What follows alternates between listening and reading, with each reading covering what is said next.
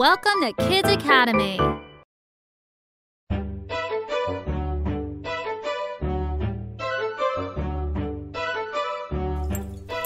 Sometimes, when you look at a group of objects that you are sorting, you might think, hey, there's another way to sort these objects.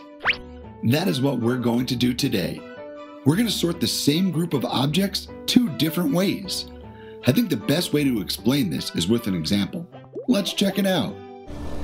Let's look at those cars from the introduction. What is one way we can sort these objects? They are all cars, so we can't sort them by what kind of object they are.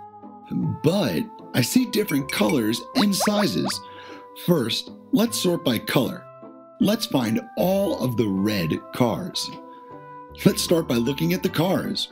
We'll be able to find the red ones easily. Here's one. This is a big red car. Right now, I only care that it's red. It doesn't matter what size it is because we are sorting by color. We can put it in the group of red cars. Let's find the other red cars. This is a red car too. It's also big, just like the other car. But remember, we are only sorting by color. We can have small red cars too. Let's put this in the group of red cars and see if there are any other red cars left. This car is big like the other ones, but it's not red, it's blue. We can't put it in the same group because it's not red and we're sorting by color this time. We'll have to wait to put this in the next group when we're sorting by size.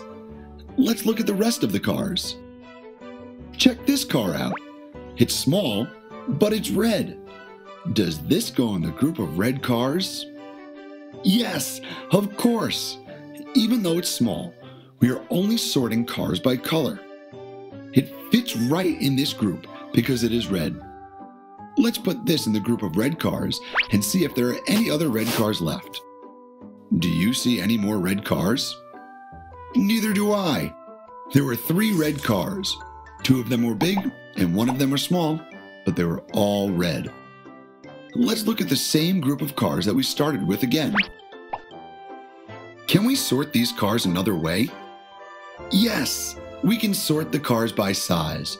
There are big cars and small cars. When we sort this group, we won't care about the color of the car, only the size. Let's find all of the small cars. I see a big red car, so that doesn't fit in my group. I see another big red car, and that doesn't fit in my group either because it's big. We want small cars. I see a big blue car, and that doesn't fit in my group either because it's big. Remember, we want small cars. Aha! Here's a small car. It's a small red car. We can put this car in the group of small cars.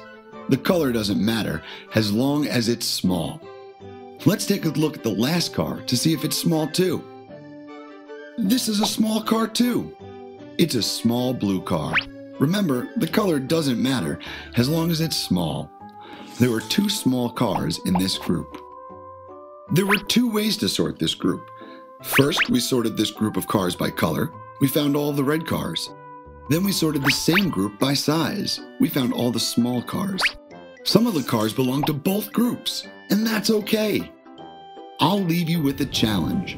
Can you sort this group two different ways? I'll give you some time to think, but if you need more time, you can pause the video and answer when you're ready.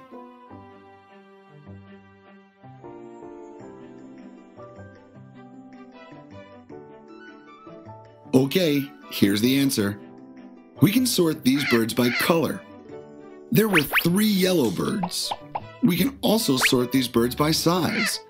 There were three big birds and two small birds. Remember, when you are sorting objects, look to see if you can sort them more than one way. Great job today. Thanks for watching, boys and girls. See you next time.